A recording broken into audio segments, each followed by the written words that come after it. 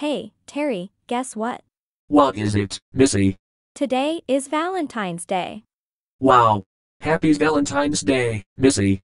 Happy Valentine's Day, Terry. Also, how do you like my Cupid outfit? Wow, Missy.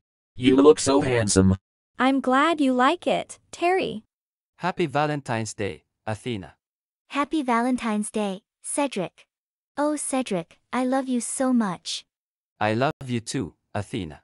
And happy Valentine's Day to all from Miss Madson Entertainment Inc.